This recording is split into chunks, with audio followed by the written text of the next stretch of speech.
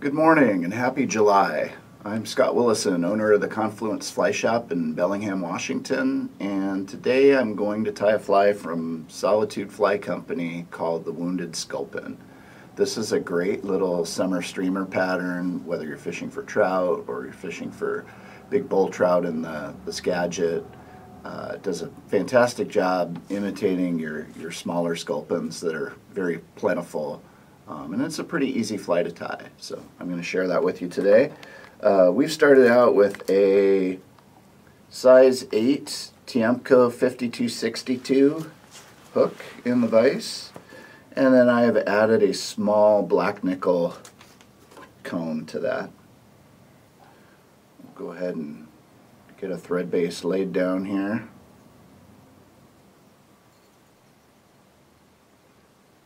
Wrapping back to just above where the barb of the hook would be.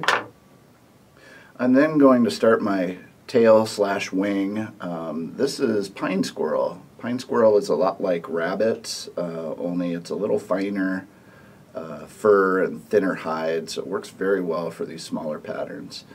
Um, I'm going to go about three quarters of the way back on the rabbit and kind of manually split that hair. And if it doesn't want to cooperate, just a little bit of saliva to part that hair to give yourself a nice clean tie-in point will work. Take a couple of loose wraps. This is going to want to spin to the side of the hook. Just use your finger to kind of push it back where it needs to be on top of the shank. I am using a burnt orange 70 denier ultra thread for this pattern today. Next I've got some brassie sized copper wire. This is just going to act as a rib and kind of reinforce the fly a little bit. I'll start that wire in and wrap back over it.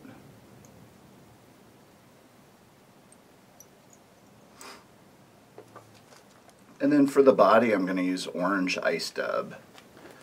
I vary the colors of these a lot. I uh, will use a natural squirrel. Uh, the one I'm doing today is a sculpin olive, olive, black, brown, whatever you like. I pretty much always keep the body this orange color. It seems to match kind of the hue you see on a lot of sculpin bellies. Provides a little bit of flash as well. So I've just twisted that dubbing on and I'm just going to wrap all the way up to the cone head here.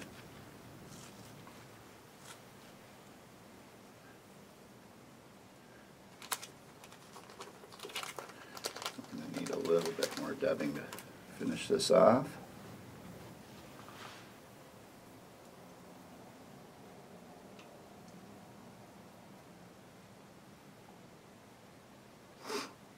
There we go.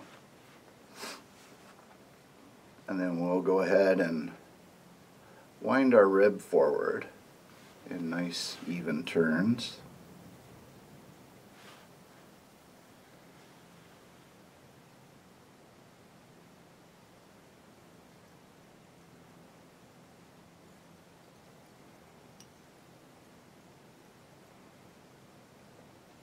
Tie that off.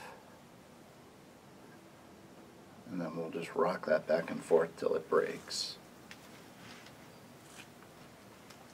Next we're going to stretch the remainder of our pine squirrel hide tight over the back of the fly and I'm going to place a couple of thread wraps over it just to lock that into place there. We're going to add a little bit of flash to the fly as well. I've got red holographic flashabou here. And I'm just going to take off two strands, couple, couple three inches long. And we're going to center tie it on either side of the hook. So starting with the near side of the hook. Once I've made a couple of wraps, I'll wrap back over it to lock that into place. And then we're going to do the same thing on the opposite side of the hook.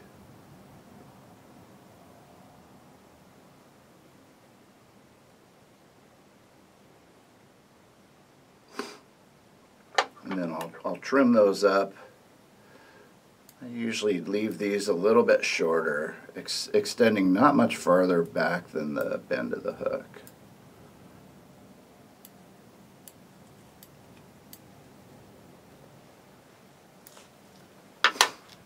And then lastly, make sure our thread is in front here.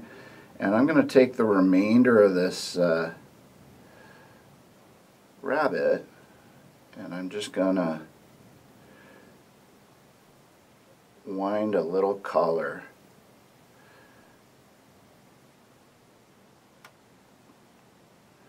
in an ideal world I would have left myself a little bit more rabbit to, or squirrel to work with that was cutting it close but we made it work and then oftentimes if you trim this little piece down. Kind of angle your thread inside the cone and that'll suck that, that little bit of a trimmed piece in there. I don't want this cone flopping around on me when I when I fish so I'm going to make sure we fill it up with a combination of thread and material until that that locks into place.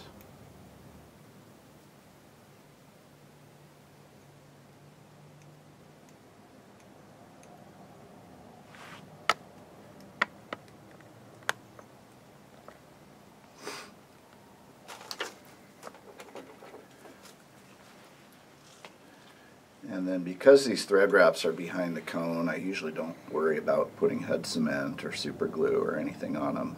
These things will last just fine. We'll do a couple of whip finishes.